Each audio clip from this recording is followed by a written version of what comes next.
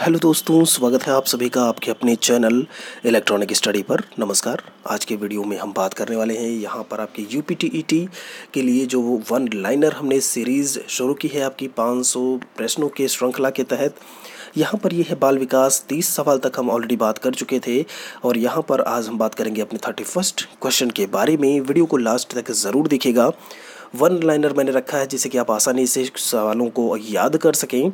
कल जो वीडियो आएगा, वो या फिर आप ये कहें कि जो आगे आने वाले वीडियो हैं, वह शैशवावस्था बाल्यावस्था और किशोरावस्था पर अलग अलग होंगे। और जितनी भी विशेषताएँ होंगी शैशवावस्था की, बाल्यावस्था या किशोरावस्था की, उस एक वीडियो में सब कुछ रखा जाएगा वन लाइनर में।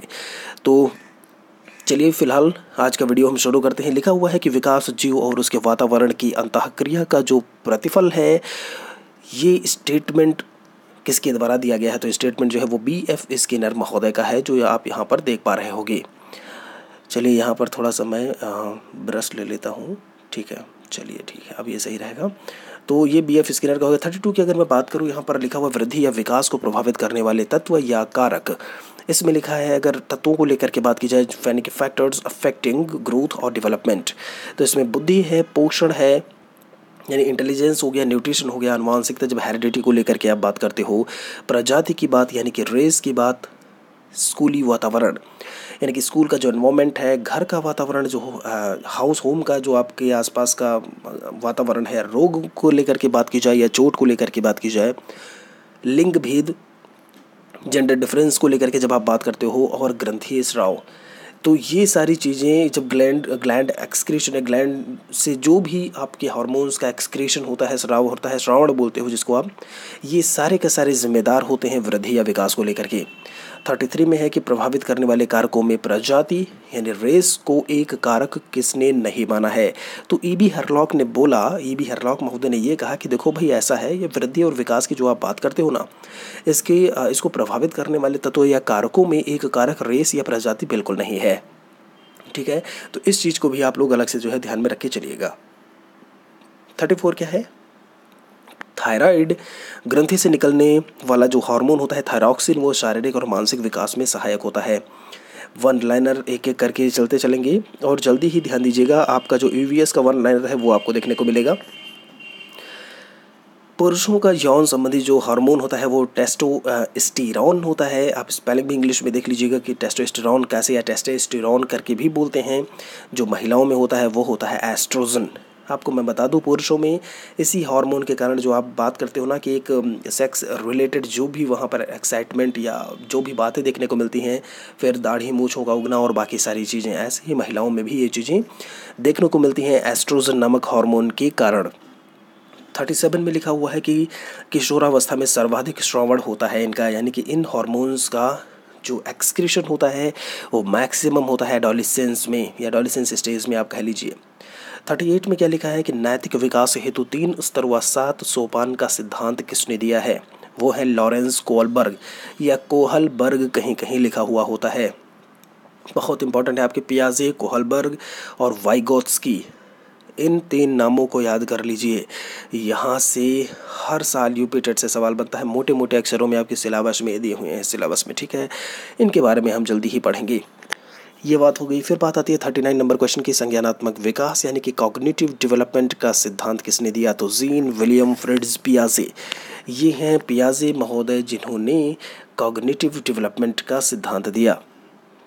चालीस नंबर सवाल कहता है कहता है कि संज्ञानात्मक विकास की अवस्थाएँ कितनी हैं? यानी कि स्टेजेस ऑफ़ कॉग्निटिव डेवलपमेंट कितनी स्टेजेस हैं भाई वहाँ पे? तो जो स्टेजेस हैं वो चार देखने को मिलती हैं।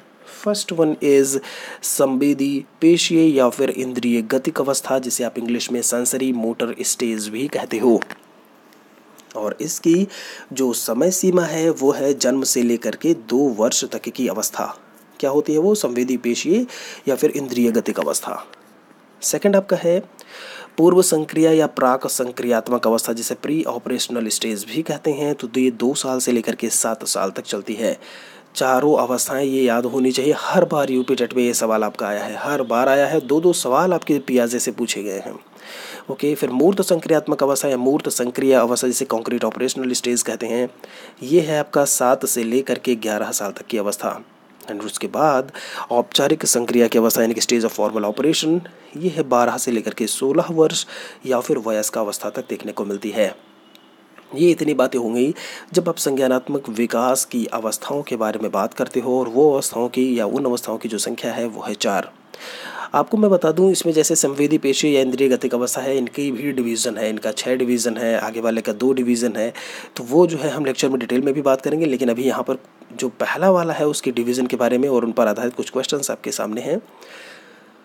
फोर्टी वन नंबर लिखा हुआ है कि संज्ञानात्मक विकास के तहत मुँह में किसी वस्तु को लेकर के जो चूसने की अवस्था है बालकों के द्वारा, ये कौन सी अवस्था होती है? तो ये है सहज क्रिया की अवस्था बोलते हैं और जन्म से लेकर के तीस दिन तक ये अवस्था चलती है। ठीक है मतलब ये अवस्था कब से कब तक रहती है? जन्म से तीस दिन। दूसरी क्या है? कोई भी बात हो गई कोई भी चीज़ हो गई, उसको रिपीट करना, उसको दोहराने की जो प्रवृत्ति होती है सहस्वावस्था का सबसे प्रमुख गुण आप ये भी देखोगे कि दोहराने की प्रवृत्ति भी पाई जाती है वहाँ पे।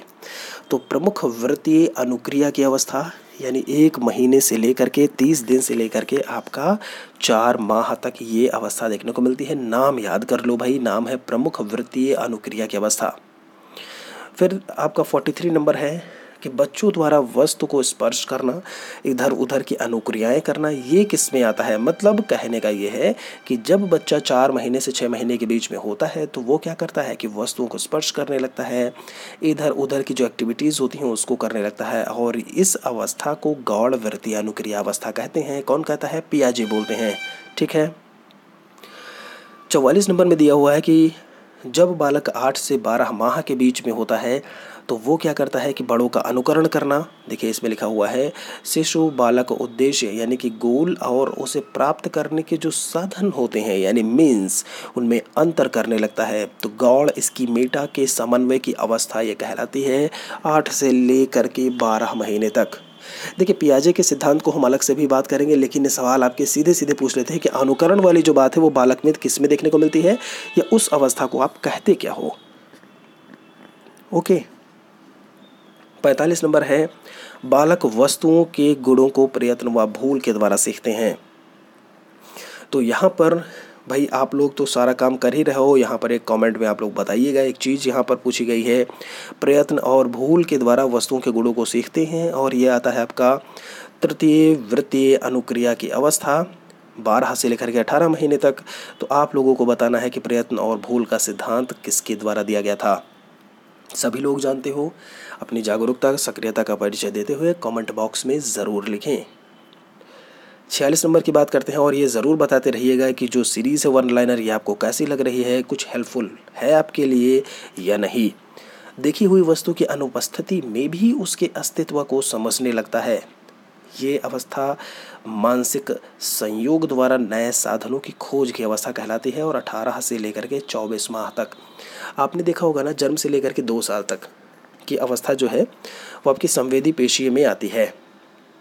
नोट करके लिखा हुआ है कि क्रमांक संख्या 41 से लेकर के 46 तक की जो अवस्थाएँ हैं, वो संज्ञानात्मक विकास की जो प्रथम अवस्था है, संवेदी पेशी अवस्था, उसी की क्रमशः छः मुख्य अवस्था, मुख्य उप अवस्थाएँ भी हैं। जरा देखिएगा। मैं आपको इन्हीं के बारे में बता रहा था। यहाँ पर अब देखिए। यहाँ पर देखिए, जो 41 से लेकर के जो 46 तक आपके दिए हुए हैं, ये सारे के सारे पार्ट हैं किसके? जब आप प्रमुख अवस्था को लेकर के बात करते हो, यानी कि जो प्रथम अवस्था है संज्ञानात्मक विकास की, उनके तहत।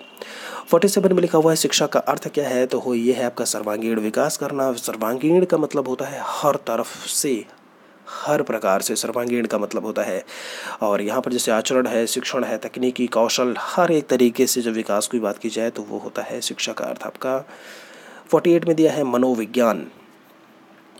मनोविज्ञान को चेतना के विज्ञान के रूप में किसने बताया? तो यह विलियम वुंट, सिली महोदय हैं, विलियम जेम्स हैं। वहीं जब आप बात करते हो व्यवहार के विज्ञान के रूप में फोर्टी नाइन में तो बी एफ़ स्किनर के द्वारा, यानी कि बुरहस्ट फेडरिक स्किनर वॉटसन महोदय और वुडवर्थ महोदय के द्वारा बताया गया। पचास में दिया है, बाल मनोविज्ञान का प्रारंभिक अध्ययन फ्रांस से शुरू हुआ। ठीक है? जब भी आप बाल मनोविज्ञान के अध्ययन को लेकर के बात करते हो तो कहाँ से शुरुआत हुई? फ्रांस से। इक्यावन में दिया हुआ है कि पेरिस के पिकॉट महाशय ने बाल मनोविज्ञान हेतु thought and language of the child नामक पुस्तक लिखी। तो ये बुक का नाम याद कर लो भाई, कि फ्रांस के पेरिस के निवासी थे जो है पिकॉट महाशय, और इन्होंने पुस्तक लिखी थी, thought and language of the child. 52 में है डॉक्टर बेने ने बंद बुद्धि, मंद बुद्धि बच्चों की परख हेतु बुद्धिमापक परीक्षाएँ निकाली।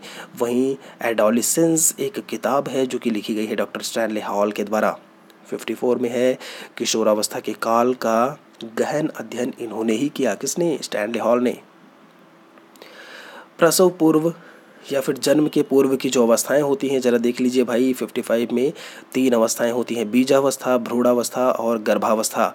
तो बीज बीजावस्था जो है वो निषेचन से दो सप्ताह तक की अवधि होती है। इसमें क्या होता है? आकार जो है वो अंडाकार होता है। शिशु को लेकर के बात की जा रही कोशिका विभाजन का काल यानी सेल डिवीज़न का समय भी यही होता है। भ्रूणावस्था सेकंड आप देख पा रहे होंगे, दो सप्ताह के अंत से लेकर के दो माह तक, इसे आप आठ सप्ताह भी कह सकते हो। इसमें भ्रूण अपनी माता से पोषाहार प्राप्त करता है। थोड़ा सा मैं जूम किए दे रहा हूँ। ये मैं यहाँ पर पढ़ रहा था। और अब बात कर लेते हैं गर्भावस्था को लेकर के। तो यहाँ पर आठ सप्ताह के अंत से लेकर के जन्म तक की चीज़ें यहाँ पर देखने को मिलती हैं। आगे है इसमें वह अवस्था जो माता के इक्कीसवें गुणसूत्र जोड़े के अलग न हो पाने के कारण होती है, वो अवस्था डाउन सिंड्रोम कहलाती है। स्वकेंद्रित अवस्था होती है, बालक के तीन से लेकर के छः तक की अवस्था स्वकेंद्रित अवस्था कहलाती है। अट्ठावन का है। मनुष्य को जो कुछ बनना होता है, वो प्रारंभ के चार पाँच वर्षों में बन जाता है। स्टेटमेंट है सिगमंड फ्रॉयड का। Sigmund Freud. 59 में है विकास एक बहुमुखी प्रक्रिया है। हर एक तरीके से आपकी विकास जो है, आपका विकास हो रहा होता है। सिक्सटी है मनोसामाजिक विकास के सिद्धांत के जो प्रवर्तक हैं, वो एरिक्सन महोदय हैं। और जो दोस्तों, ये हो गए आपके जो है तीस और सवाल। आपको मैं बता दूँ, ये जो डिवीज़न किया गया है फिफ्टी फाइव में, ये आपका एक जन्म से पूर्व का है और सवाल यहाँ से अक्सर बनता है आपका। ठीक है, इसको भी ध्यान में रखिएगा। हम जल्दी ही बात करेंगे और जो नेक्स्ट आपका आएगा वो आएगा बुलेट वन लाइनर स्लैश अवस्था पर। आपके पचास सवाल लगभग शैशवावस्था पर होंगे और इस बात का पूरी तरीके से आप आश्वस्त रहिए कि लगभग निन्यानवे परसेंट तक सवाल आपके उन्हीं से शैशवावस्था पर अगर पूछा जाता है तो सबको शामिल किया गया है।